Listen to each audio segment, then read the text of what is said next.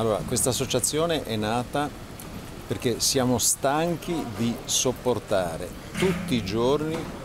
un gruppo di una decina, spesso una quindicina di spacciatori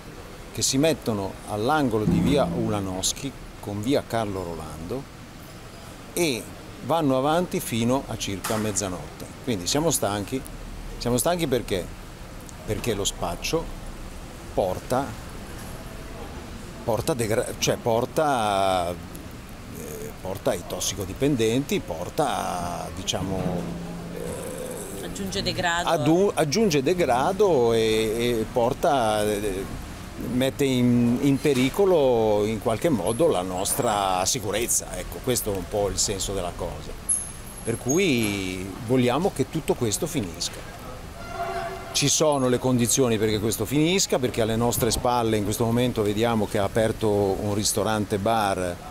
eh, e che è molto bello, eh, quindi questo ci conforta, però nello stesso tempo vogliamo che questo spaccio finisca, naturalmente non può essere solo eh, questo il motivo per cui abbiamo organizzato, abbiamo mh, messo in piedi questa associazione, ma lo abbiamo fatto anche perché vogliamo presentare dei piccoli progetti di riqualificazione per questa zona, che ne ha assolutamente bisogno. E, e poi vogliamo che eh, la gente, quelli che abitano qui in questa zona, si interessino al loro territorio, perché l'unica maniera per riuscire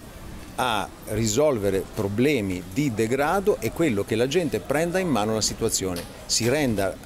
diciamo protagonista del proprio territorio. Oltretutto qua c'è un altro pericolo grave, cioè la speculazione degli immobiliaristi, le agenzie immobiliari speculano su questo territorio e quindi i prezzi continuano a calare proprio perché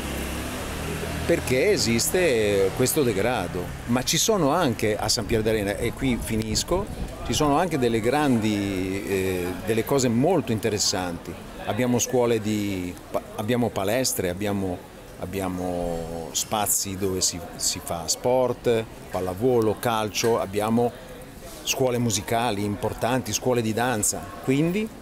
quindi bisogna che riprendiamo il territorio in mano.